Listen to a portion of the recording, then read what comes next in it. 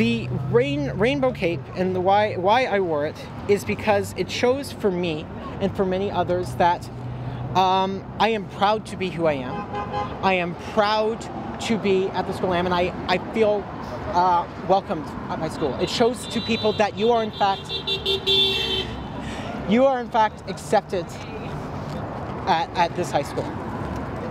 That uh, that you are welcome, and for me that represents that that represents everybody. That you are welcome no matter what, no matter who you are, no matter how you identify, no matter what your gender identity is. That you are welcome at St. Joseph High School. If I was approached yesterday after after the ceremony, was like, you know what, my uh, I'm sorry, I was a misunderstanding. Uh, that was that that was inappropriate. I apologize. That would have been fine. I would completely understand.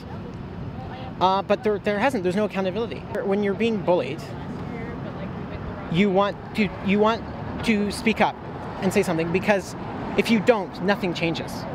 I, I am doing this because I I know uh, that if it helps at least one student feel that they are not alone and that people are fighting for them, then I know that all of all of this um, was uh, was necessary.